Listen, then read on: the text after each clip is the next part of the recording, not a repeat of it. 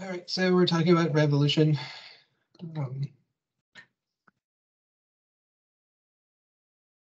the, the, the, the, possibility of, uh, of uh, changing our current conditions through some kind of coordinated, vaguely social action. And uh, well, as we, we mentioned on the on Monday, the, the the most common reaction to revolution and and and well, um, more specifically again to to to people wanting to change their conditions is uh, is repression. It, it just doesn't seem to be a a very desirable thing. Although um, the the author of the the author of the of the reading on Monday was um, was uh, um, pointing out that that revolution seems to be kind of a, a, part of life. Really, it just seems to be a a a a growing pain of pretty much any given system by the fact that uh, state tends to gel people into a certain format of society, and that society changes. And if the system doesn't change with the people, then it's going to reach this this breaking point that we tend to call revolution. But as I uh, kind of intimated on on Monday, the the revolution is nice. That the example of the the January 25th revolution in in, in Egypt um, as a example of a successful revolution, as in they managed to achieve their goal. Their uh, the, the state of emergency was removed. The uh, the president was was removed. Um, but the uh, resulting system is uh, another uh, single party state and essentially the same kind of police repression that existed before. So the system itself has, well, the face, I guess, of the system has changed, but the system has, has remained for the most part. Um, there was no reading for today. There was a movie. You may have watched it, maybe. Um, focusing on the Kpelle people of, uh, of Liberia, resolving conflict among the Kpelle people. Um, Mande speaking people, and uh, so Liberia is on the on the western side of Africa. Um, in case you do not know, uh, Liberia was uh, bought by the United States to repatriate uh, descendants of slaves and created as a uh, as a place for uh, returning uh, African Americans um, who uh, no longer wanted to be in the United States, but also the United States didn't want them there either. So that's what Liberia was created for. Um, but of course, there are people who already lived in Liberia before um, well, before slavery and certainly before the United States made that place Liberia. Uh, the Kpelle are one of these people, uh, although they are not uh, uh, uh historically people from uh, from central Liberia. They are, as most as it usually happens in Africa, pretty much all over the the, the west coast, all the way into into central Africa. They usually um, the, the their point of origin is uh, is pointed to uh, to North Sudan uh, from the 16th century, but they were displaced from North Sudan by um, by the, the the the English and by the the, the Muslim people who took over that part in the in the 16th century and uh, started moving west to uh, to places like Mali, uh, to Guinea, and including Liberia. Uh, some of them went to went south as well into uh, Rhodesia. Some of them went into Ethiopia. Some of them went into Mauritania. I mean, they're they're pretty much spread out everywhere at this point in time. Um, but of course, they retained their uh, their ways of life from before they were displaced, and uh, that includes their language. That includes their uh, their uh, uh, social systems, I suppose and that includes their justice system that is uh, displayed in this particular movie. Um,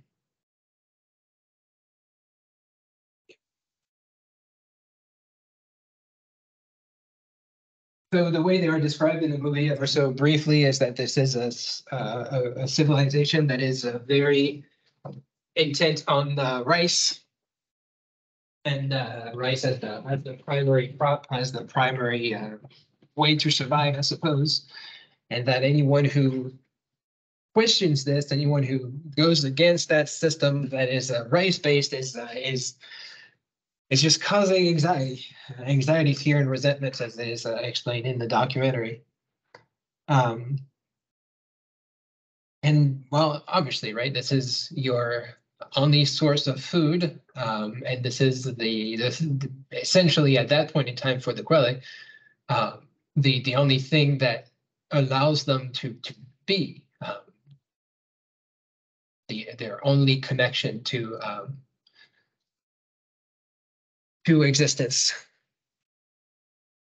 So um, um, certainly uh, an important part of the lifestyle, although as the the, art, the the the movie points out, it's not the most important because anything that is related to their survival turns out to be equally as important. And uh, the the documentary focuses especially on cattle, um, as is often the case. It is the case in Sudan. It is the case in Africa, in uh, in, in uh, Ethiopia. As we mentioned before, it is the case in South Sudan, and of course, it is the case all the way across West Africa, including Nigeria, right next door. And uh, while also, in as much as they are not uh, historically uh, herding people, they have taken on to to herding. and um, as is very common amongst people uh, in in non-industrialized societies, um, the the central organization revolves around the family. Um, again, defined uh, broadly. Uh, I don't know how much you have taken anthropology classes before, or how much you make sense out of that. But so the the, the word that we typically use in anthropology to refer to family is kin or kinship, because when English speaking people use the word family, they think of uh, their mom and dad, they think of their brothers and sisters uh, cousins are already within the English speaking world, kind of already a distant part of your family. Because, you know, we tend to be separated across places and across households and whatever. And, uh, well, obviously, anthropologically speaking, that is not the case always, and it doesn't have to be the case. And certainly, it is entirely possible that you live close by to your cousins as well. Uh, so trying to to break from this this the uh, the connotations of the word family in the English language. They, we typically use the word kinship to to broaden the, the the reason why people might call themselves family because it could be a uh, family that goes around uh, uh, ethnic groups. It could be a family that goes around the religious groups uh, it, it's much broader than the the nuclear uh, single household family that, that exists in, in in our or that is the most common in our um, in our background. Um, and so the the way it's described in the documentary, the Kpelle has a have a somewhat of a unique situation when it comes to to politics. They have they have central organization. They have chiefs and chiefdoms, uh, and uh, and so different places will will recognize an authority, uh, a central authority, you could say, um, but there doesn't seem to be on the on the broader scale a unique like central authority to all the central authorities, if you will. So each king or chief seems to be pretty much equal. And on top of the chiefs, there are paramount chiefs, and each one of them is pretty much co-equal to one another. And uh, uh, um, so there's a hierarchy of chiefs in which all of the hierarchical levels are co-equal. Which usually, again, right when we're thinking of central organizations, we tend to to narrow it down to having at the top one single uh, point of origin for authority, and that's that's clearly not the case for for the Kpelle. Um, and uh, the result of that is that you may have your central authority that is far away, that is from a different group, which in terms of uh, the making sense of the justice system is rather useful as is displayed in this particular article because in this documentary because the uh, sometimes the, the disputes involve the chief themselves or their family and in that case you can't have the chief of your community be in charge of adjudicating a dispute that involves the chief. So then you need to go to the parish uh, but before we get to that, um, so the, the the the the the bonds that are made through the the villages and through the social groups are connected through uh, their daily activities and including feasts that are uh, economic and social at the same time. Uh, feasts reward constituents who meet their obligations to the chiefs because the chief, as the central authority, has the possibility to organize these feasts, to redistribute uh, meat, which is rare, to redistribute rice, which is not plentiful, to redistribute uh, uh, uh, whatever was achieved by the community as a group.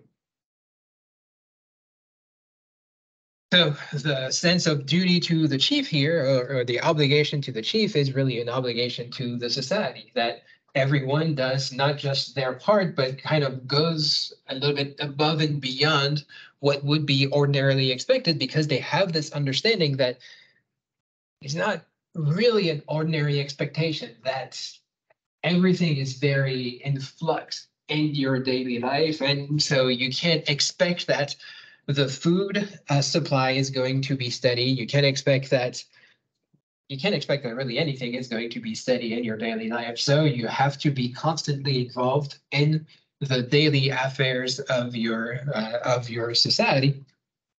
And uh, you are as a result rewarded when uh, when things are are working out.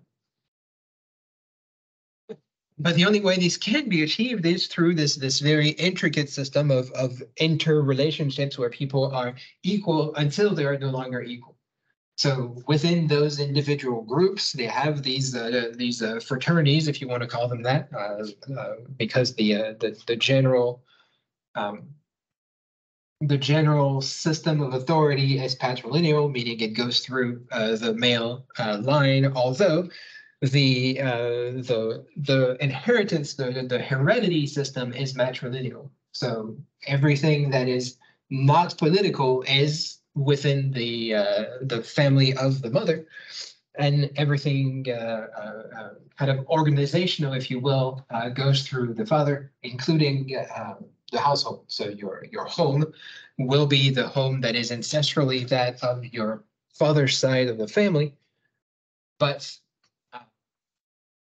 let's say the, the, the rice fields in which you eat, those will be uh, ancestrally that of your mother's family. Um, and again, within the smallest group, because then you have those levels of hierarchy on top of that. So uh, it, it is very much based on these uh, these constant checks and balances within the smaller groups and within them to make sense out of their own interrelationships, the relationship to the people themselves and the relationship to the chief because obviously the chief as the central authority would have to make sense that everyone remains happy for the, the, the happiness to be redistributed as well. So the feast, as much as it is an economic activity, as much as it is a social activity, is also a little bit of a political activity and also to a wide, to a wide extent, what we have talked about in the class before, this kind of good or or happiness, this very uh, intangible uh, uh, function of uh, bringing people together when they may not otherwise even consider themselves to be uh, to be together. Um, yeah, so knowing that he had used this herd wisely, so by uh, um, the using the the cattle uh, for uh, for food and uh, making sure that everybody is fed. So in this case, from a uh, an animal that is uh, that is being redistributed in the feast, to carry out properly his duty as chief, to bind his people to him. So to yes, work that social glue, and that's that's really the only way that you can make sense out of that.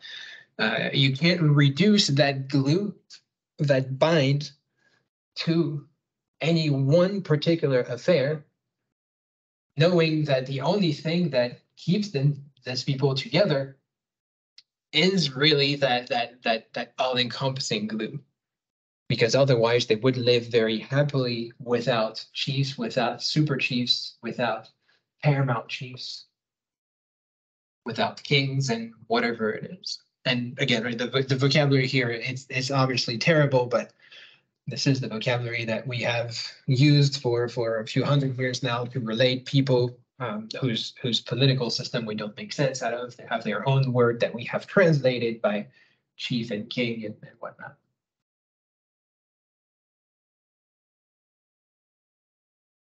Uh, any questions about this?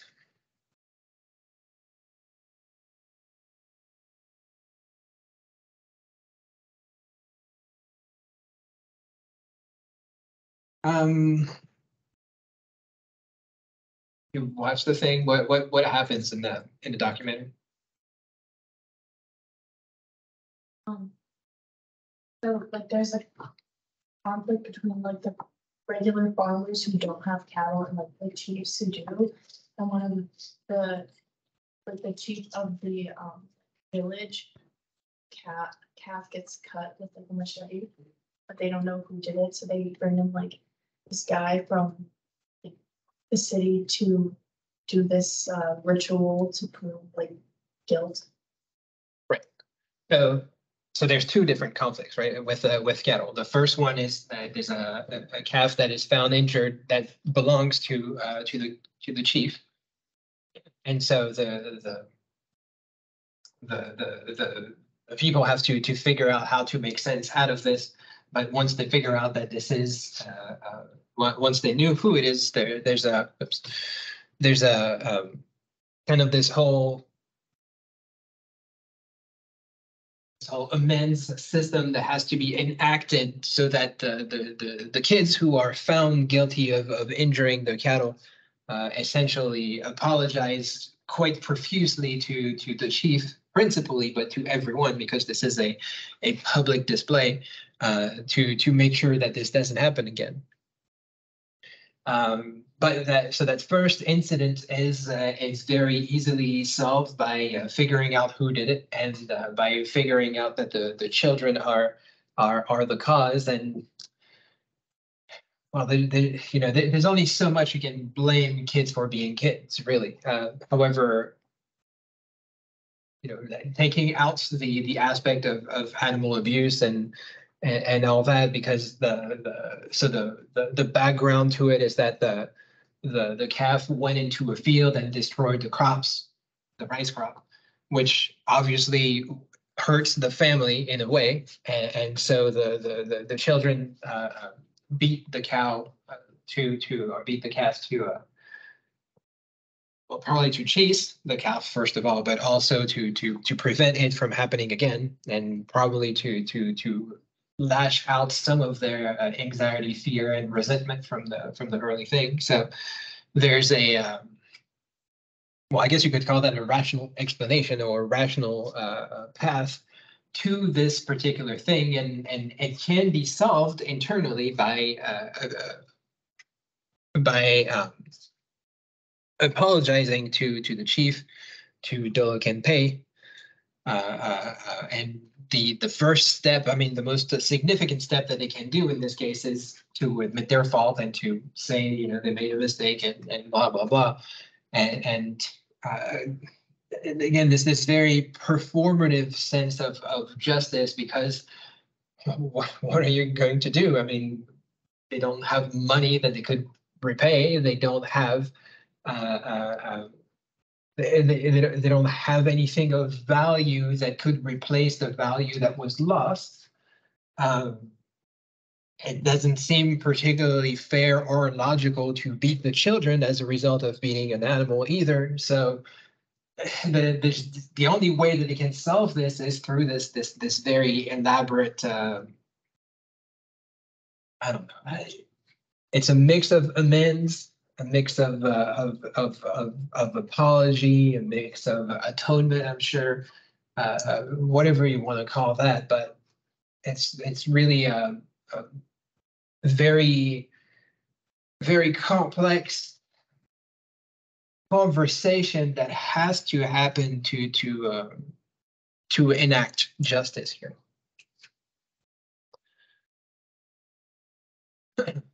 Um. And then, so then another, uh, uh, another calf is, is found injured, uh.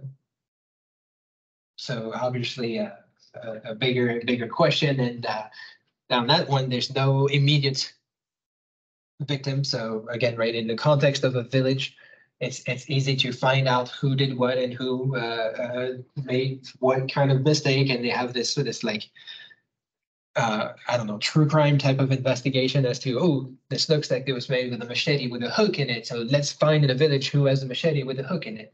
And, and, and so they try to find the, the culprit locally, but, but they don't, they don't find it. And so, uh, this is when, as a group, they decide, and as you can see, you know, everyone is involved here. Again, a very public court where where everyone is gathered to find what the best way to do is. And again, because this is a chief that is involved here, typically speaking, the chief should be would be the the ultimate authority to judge on this, but it could be literally anyone in the village.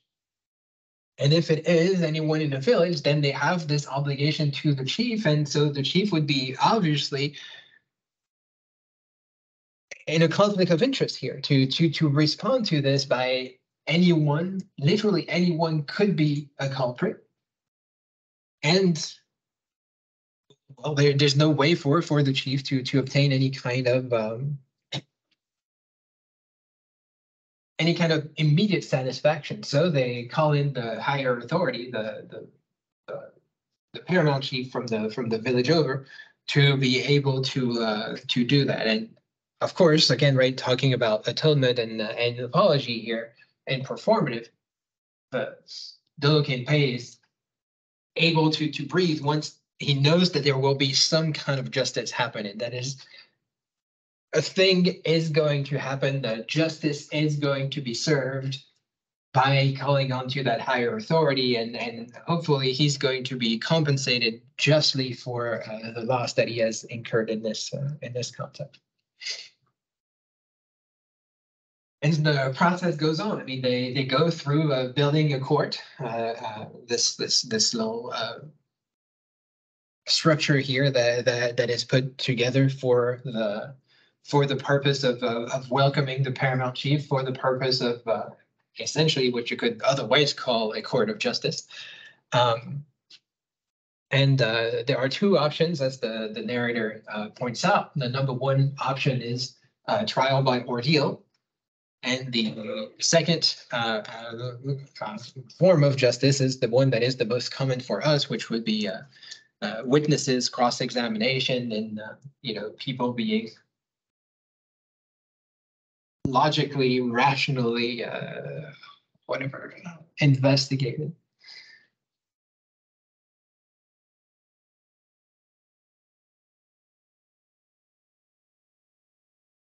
And, well, the choice is up to Dolo Ken Paye. The cha- the choice is about the person who was wronged here. What path for justice do they choose? Which is not something that we typically do. On that other hand, uh, giving a choice. So, what would you rather? Would you rather we pick this form of justice or that form of justice? The ordeal or the standard justice system? So I put the question out to you, which, which one would you do? The, the standard trial by jury or this trial by ordeal? In case you have not watched the documentary, and in case you don't know about European history, trial by ordeal used to be very common also in Europe at some point. The very, it took various forms. The forms that are mentioned in the documentary are uh, hot oil, hot knife, or poison hot oil and a hot knife work about the same. You put hot oil or hot knife on somebody, and if they are burned, that means they are uh, uh, the culprit. If they are not burned, that means they are innocent.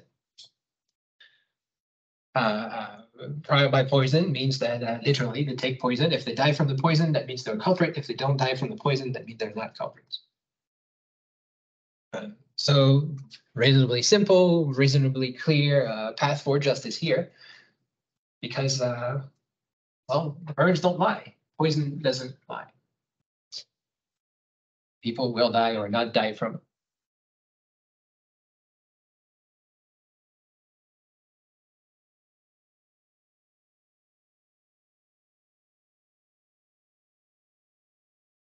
Or trial by jury.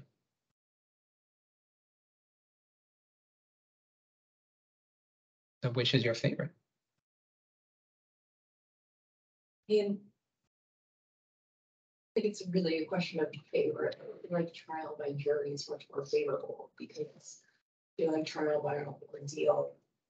Like in this, when they're talking about like being, uh, what's it, like being touched with the being like pierced with a hot knife, like. I mean, I feel like most people would flinch, that doesn't indicate guilt, that indicates knife burning you. So I feel like trial by jury in some ways be more fair, just because, I don't know, like if you're gonna die from poison, you're gonna die from poison, you know, I don't, I don't know. I feel like both can have bad outcomes, but at least with trial by jury takes a little bit more time to or something, you may have a chance of, you know, feeling or coming through physically scarred by I feel like they both contain bias, Mhm. just that trial by jury can not include bodily. I preference. No bodily harm. That's, it's a good preference, I would say. Jacob? Yeah. And building off what you said is both contain a lot of bias, right? If I was to go before a jury for a crime, I ima- I imagine in the United States, I would have a very different likely outcome than say African American, just due to societal prejudices Mhm. about how we view crime.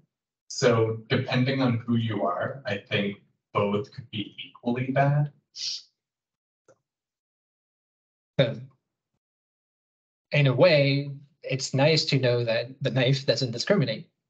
So, and in fact, this is what and fate chooses. It chooses the trial by ordeal rather than the what do you call it? Palaver. The discussion about. Um, but why, why does he choose the ordeal?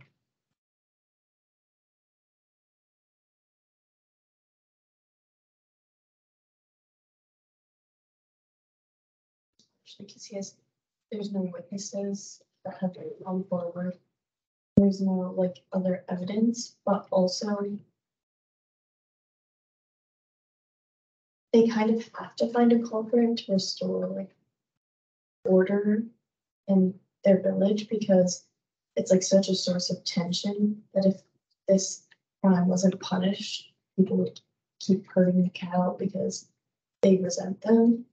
So I feel like the chief had to do something that he knew would find a culprit. So yeah, there's two aspects here. Number one, like life stops when that happened. Because while the chief is involved, and if the chief doesn't have resolution, then none of the activities will be able to continue until the chief is able to do his work.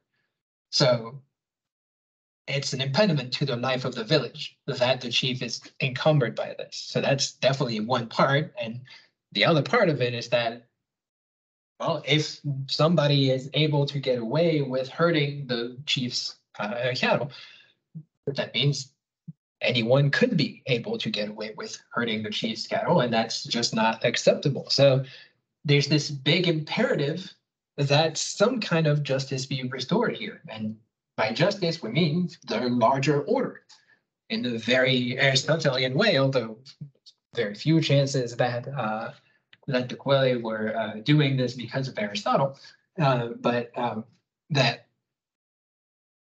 you're considering this, this, this, this public health issue of well, we're doing the thing that we are supposed to do so that we can keep on doing the things that we are supposed to do. So the ordeal here turns out to be somewhat of a better solution. Julia, you mentioned, in fact, you would prefer no bodily harm. You have to think that this is probably the preference of most people who are involved in this conversation.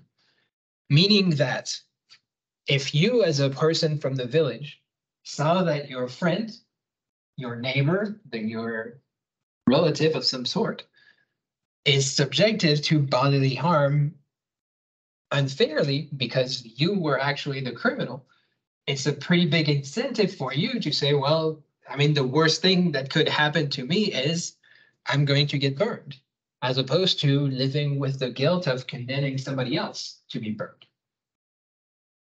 So there's a big social pressure that is involved in this that the the trial by ordeal will only proceed in as much as people believe in the form of justice that it dispenses.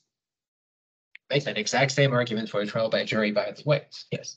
I thought it was interesting that like the uh, social pressure, like in the film, pushed the guy who did it to come forward because first they did, okay, we're just gonna burn a representative or see if a representative from the village gets burned to see if like it's someone from our village.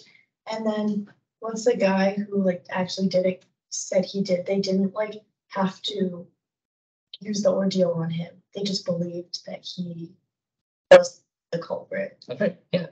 I mean, isn't that the worst that could happen in that case? That you, you found the culprit and, and that you condemned the wrong person? I mean, that's obviously the, the worst outcome that could come. At least for people who have to live with one another every day. Because somebody's gonna get found out at some point. It's just interesting to me that they didn't, they don't, they didn't use the ordeal on the guy who said he did it. Yeah. And not only that, but then the chief is kind of bummed that he doesn't get justice because they found the culprit and that's all that it took. So yeah, the ordeal in that case definitely works as a deterrent.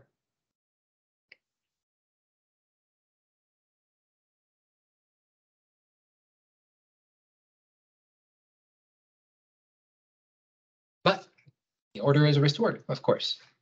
People get to eventually agree on the who's the culprit and eventually get to move on with the way that life is supposed to work. The uh, director slash uh, author of the documentary wrote an article about that very court system before. uh, But, uh, you know, there's only so many people who are going to read anthropology journals. There are much more people who are going to watch the uh, documentary if it comes out on PBS. You know, by much more, I mean like five more people. Um, which is double the audience of the average anthropology journal. One can approach the transcripts of the trouble cases with a second analytical framework and emerge with a deeper understanding of the implications of the contrasting descriptive attributes of the court and the house palaver. And this is why people don't read it. Remember that the coercive tone of the courtroom hearing limits the court's effectiveness in dealing with matrimonial disputes, especially in affecting reconciliations. The moot, so that's the name of their, their court, on the other hand, is particularly effective in bringing about reconciliations between spouses. This is because the moot is not only conciliatory, but therapeutic. Moot procedures are therapeutic in that, like psychotherapy, they re-educate the parties through a type of social learning brought about in a specially structured interpersonal setting. So the palaver, the moot, the courts, the jury type system has its own kind of healing effect or therapeutic, as as Gibbs calls it here, because uh, because your your your your dirty laundry is is aired out in a way that well within the context of your household if you have a dispute. So here you know this is the, the article is, is much broader than just a cattle. So here it's focusing on the on disputes within a couple. Um So dispute within a couple is much more effectively solved by uh, getting people to just air out the lung. I just going about, so exactly what happened? What led you to this dispute? So it's taking away the, the context, maybe the emotions of it, the, the fear, the resentment, and all of the weird social pressures that exist, and just charting the path of this is what has happened as objectively as possible, because obviously you can't just separate people from their emotions. It's not a a, box civilization of, of, of no one being affected by anything. But on the other hand, kind of with the benefit of, of hindsight, with the benefit of of, of, of having a, a, a third party involved, with the benefit of taking the, the broader context into some uh, in, into some significance without making it the whole context, the whole significance. There's a healing aspect to to the, the, the jury system, which in the context of the ordeal does not quite happen in the lack of resolution that people get hurt or they don't. And if they're legitimately guilty, then they get legitimately hurt. If they are legitimately not guilty, then they get legitimately not hurt. This is at least the way it is designed. The hurt in matrimonial disputes and, and marriage disputes is a lot harder to to to to compute in that case. It's not like you know you you you you hurt me physically. That definitely is a possibility, but it's not always the case. And as a result of that, there needs to be a resolution that is perhaps physical, but also perhaps more importantly,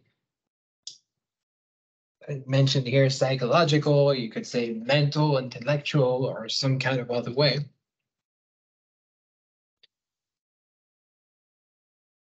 But the value of it comes into the, the structure of it is that there's an order of the court, in this case, the, the moot court, the, the correlative moot, that has been followed since ancestral times, since however long people have had marital disputes, and that is literally since the dawn of time.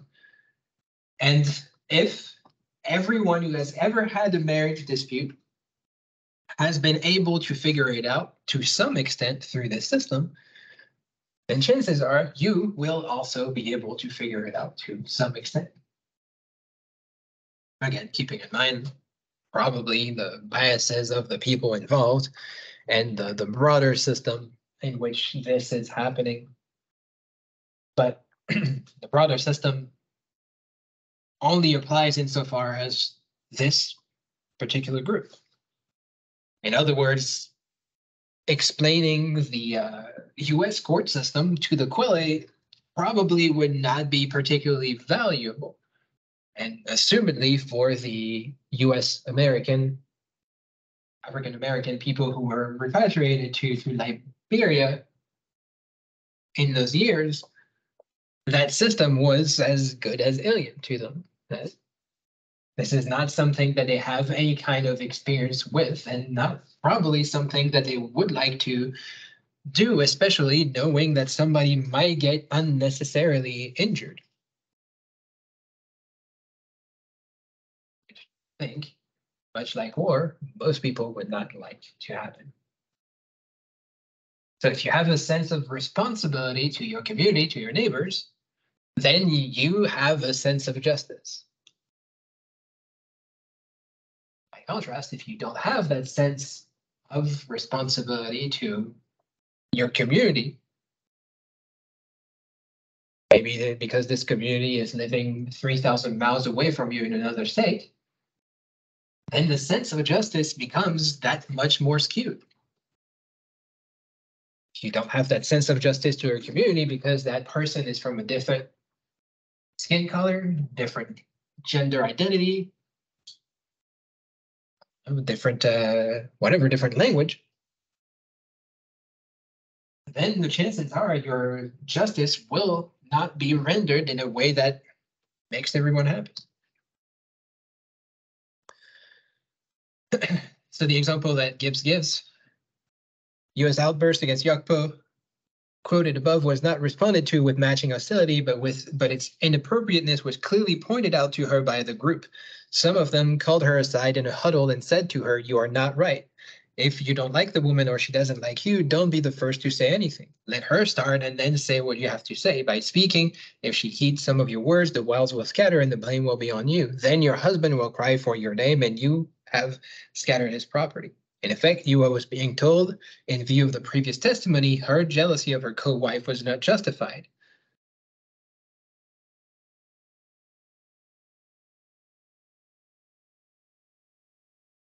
So they have, uh, again, patrilineal system, so you are living in the house of your husband, but you can have several spouses, female spouses, and the specific example given here is co-wives fighting over something or another.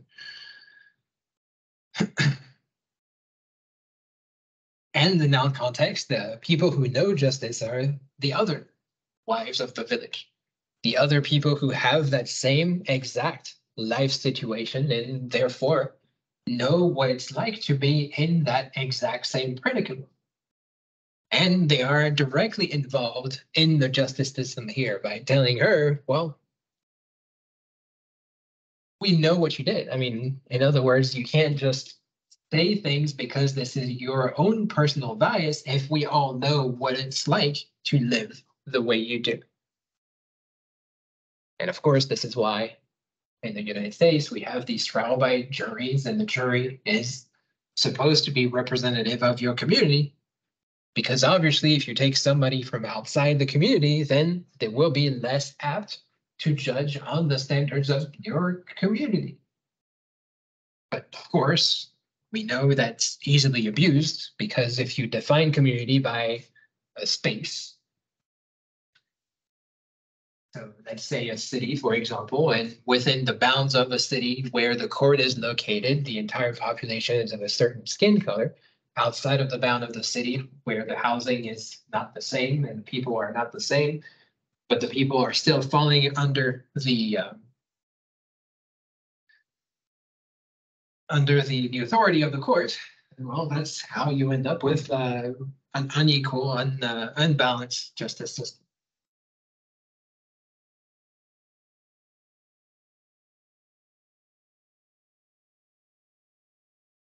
Once this is over, the people can go back to their lives, they shake hands, the job was done.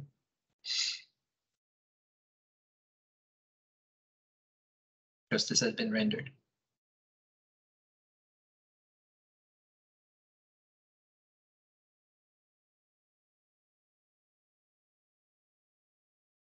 Questions or comments uh, on this?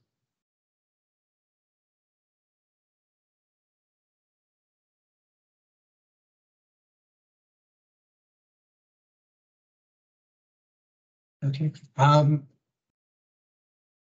Let's see.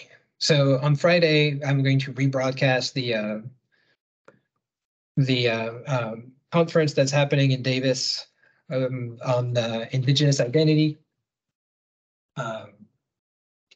Honestly, don't know how that's going to pan out, so that's going to be interesting. if we get some time to to talk about it during. We might do that. I'm assuming there's going to be a break, but I don't know the schedule, so. Uh, it might be that the class starts in the middle of a talk, and so we'll start directly with watching the talk, and then if and when it gets a break, then we'll we'll go through that. Um, another point of order is that um, so next week the the topic is freedom. I pointed out at the very beginning of the semester that you are free to upload whatever readings you want to do for the class. It would probably be better if you did that before we get to the beginning of classes. You want to do it during the week, it's fine, but you know, it's just easier when people have read the article. He says, unironically. Um. So, yeah, so keep that in mind if you want to, if you want to have a, a reading for next week, uh, let's do that. Um. And if you don't, I'll upload something and you'll have to pretend you read it, so. Um,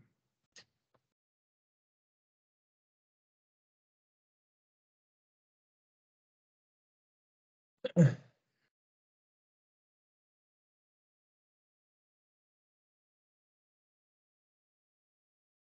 people that we've been looking at in the past uh, couple of weeks are gathered around the uh, idea of communitarianism.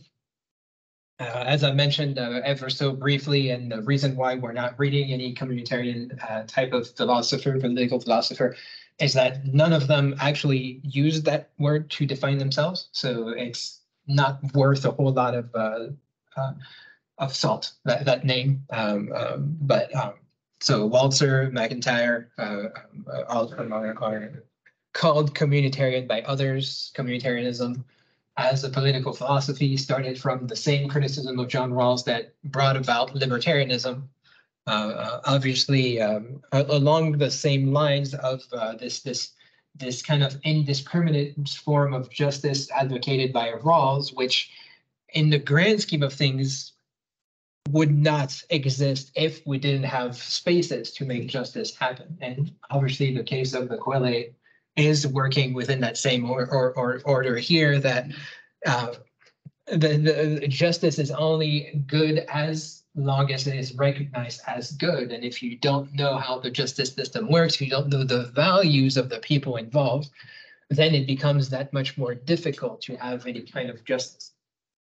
So libertarians advocate that uh, there's no justice except for your own uh, personal uh, satisfaction, um, which is one way to do it. The other way to do it is to see that there is no justice except for the community. But community is defined in a hundred ways by the hundred different types of people who do communitarianism, and it has its own criticism as well. We might mention some of that next week, depending on how the conversations go. But again, right, we're going for freedom, so let's see where freedom gets us.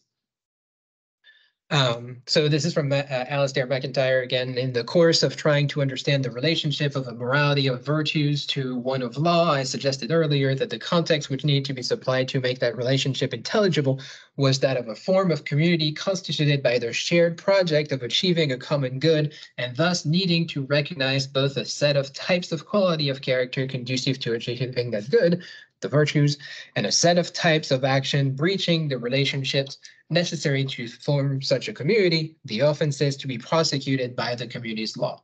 The appropriate response to the latter was punishment, and this is how human societies do generally respond to such types of action. So the reason why we punish revolutions is because, generally speaking, the revolution is seen as a breach of relationship because we have this uh, quote unquote social contract that assumes we have all signed the uh, the agreement where we would be part of society. If you renege on that contract, if you go against it, you are breaching the, the social contract, and therefore that is okay to punish, to use uh, uh, military tactics against, because this is just not a, an acceptable thing to do. Uh, on the other hand, uh, white collar crime, physical abuse, these things are not understood as breachable offense in the context of uh, Western European society, and as a result, well, they are not punished in the same way. And of course, you know, the the depending on how those different people have figured out these aspects of communitarianism, the community can be more or less big, more or less small. It can be used in the way that the Kpelle do, where you have these local chiefs and then slightly uh, hierarchical systems of having co-equal chiefs where people are uh, uh, more or less indebted to one another and more or less recognize of one another's authority. So yeah, if you have any questions about that, we can briefly talk about that on Friday and maybe next week. Otherwise, I'll see you on Friday.